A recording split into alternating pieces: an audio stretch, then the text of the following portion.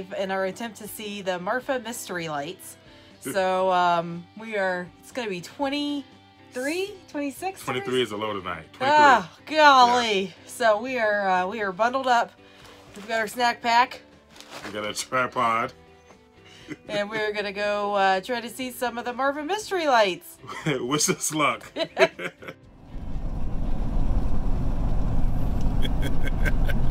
Have you, did you see that? That thing is humongous. I see it. I do see it. That's cray cray. Holy moly. Wowzers. That's incredible. That looks like the sun, man. It really does.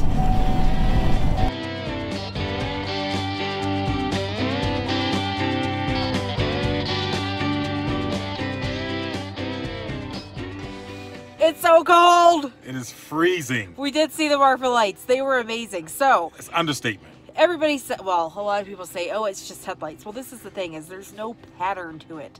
We watched for about an hour At least. in 20 some degrees and there's not any pattern to these lights. So um, we've seen red, blue, and white lights. Yep. Um, they they will split. They will uh, be bright and then dim, and it's it's just wild. It really is. I mean, it's just it goes on and on. It's just they're from left to right. It, I, you can't explain it. Nope. It's, it's mind boggling. Yep. We also got to meet uh, Jim Bobo or Bobo or Bobo. I think it's Bobo. We're not for sure. Anyways, I think it's French. Maybe I, I don't know, I'm but we sure. follow um, him and his wife Carmen. We follow their blog.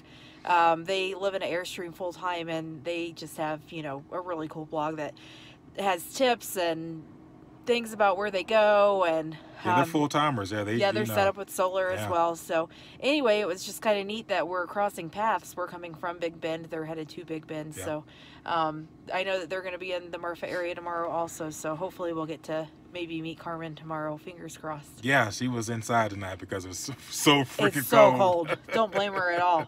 Yeah, my legs are freezing. So we got to see the Marfa lights on day one. That's Check. Outstanding. Yep. Something off of our bucket list. Couldn't ask for anything better. Yep. So until tomorrow. Peace.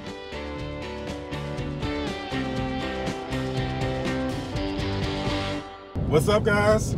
All right, so we ate at the infamous Marfa Burrito. And it was fantastic. It was. I'm sure we'll be back. And I'm glad that we started with just the carne burritos because it was just literally meat in a tortilla shell. And seasoned to perfection. oh my gosh, it was it was so good. It was really so much better than I I expected it to be good. I didn't expect it to be like amazing. Yeah, and they're huge. They're like 12 inches long. Yeah. And it's just packed with beef. Mhm. I think it was five dollars, five fifty. Yeah. yeah, well worth 550. so we're glad we started with that. We might fancy it up a little bit next time. Uh, maybe we'll go there for breakfast and get a, a breakfast burrito. I don't know if those. I'm assuming the shells were homemade, the tortilla shells. They, gotta were, be. They were so good. They really were. Oh, okay. So we are headed to the um, Prada store out in the middle of nowhere for a photo op. Try to take some some cool pictures. So If, if we don't blow away in this uh, crazy wind. yeah, Hey, I wonder if that's uh, Matthew McConaughey's uh, Airstream. you're so fun.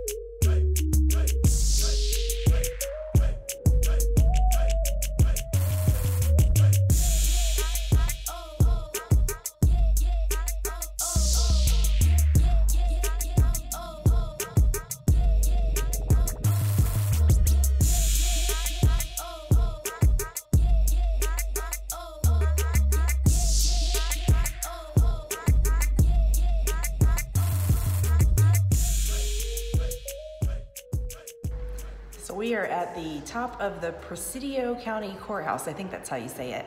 It's in Marfa. You can see everything from up here. A lot of stairs to get up here, but it is so cool.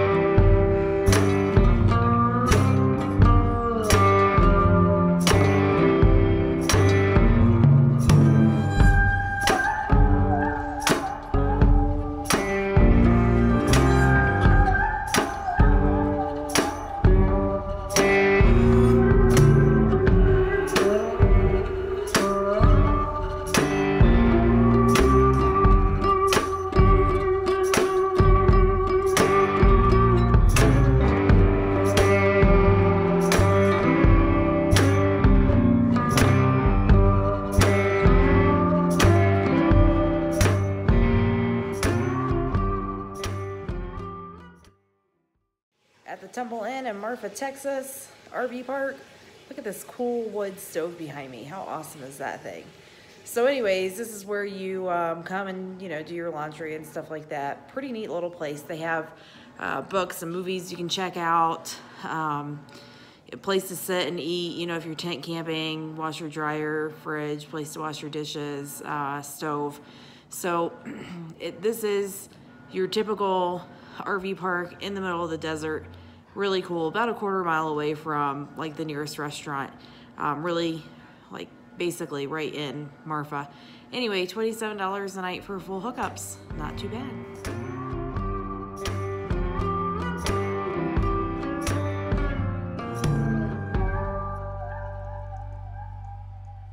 Uh, finished at uh, Marfa Burritos. Just finished at Marfa Burrito for What the was- second time. What was the other place? I don't, I don't know. Been stuck with his uh, carne burrito, except this time he added beans and cheese. See, And you like that better than just the plain one, or it just enhances the flavor of you know what is already a fantastic burrito. we tried the green chili sauce this time. Whew, man, that is some spicy stuff. You just need a little. Um, I got what they call a plate, which comes with the carne, which is the pork. Wait, asada. Asado. Asado. Asado. Carne is the beef. Asado is the pork. We learned something. Um, anyway, I got the plate. Came with uh, fried potatoes, eggs and chorizo, um, like a salsa type thing, onions, tomatoes, jalapenos. Um, Homemade tortilla se- tortilla shell. yeah, the refried beans. It was it was really great. It was really delicious. Yeah, I'm glad we went back a second time. Sure. Yeah, and it, it really is. Um, the reviews say it's like going to your abuel- abuela's abuela. Am I saying that right? grandma's Your, house. your Hispanic grandmother's house and, and having dinner, and that's exactly what it's like. yeah, Um, the it's I mean there's tables set up and it, you're going to somebody's house and they're cooking for you is, is what's happening and um, it's pretty amazing and uh, it's kind of like a little a little get together like a little party in there. Um, they're only open from 7 a.m. to 2 p.m. but it's really cool. and it stays busy. Yeah, and it's so cheap. So cheap. But it's good. Really good. Uh, anyways, we're going to uh, just do a quick little time lapse through the, the town of Marfa so you can see that. Um, lots to do here. It's very windy during between February and May. Mhm. Um, but really cool little town. Um, we think that it's more kind of catering uh, as like an up and coming celebrity town. Maybe the population's only about 2,000 right now, but uh, the property prices are super, super expensive. And um, everywhere you go, there's kind of hints of where celebrities have been. And this is a town that's out in the middle of nowhere. Um, Literally. yeah, the nearest airport is El Paso, and that's three hours away. So, but anyway, um, you know, we've seen lots of pictures of Beyonce and Matthew McConaughey and Anthony Bourdain. Kevin Bacon. I mean, the list goes on. So, this is a, a pretty cool little up and coming place. Um, and it's also it's very quirky because on the same road you can see houses that are made out of shipping containers and then like super contemporary huge fancy houses and then a mobile home and you know just a regular house a nice house an older house a rundown house and it's just like they kind of all live in peace and harmony um, kind of really how all towns should be i guess so anyways, we're gonna do a quick little time lapse, show you through the town. Uh, it doesn't look like a whole lot's going on, but it's a very minimalist type place. So um, a lot of the restaurants and shops, they they're not like necessarily big fancy signs. Um, you just kind of have to know where you're going. So pretty neat place. Pretty neat place, babe. Absa freaking lutely. Okay, we're good. All right, I think we're blocked from the wind.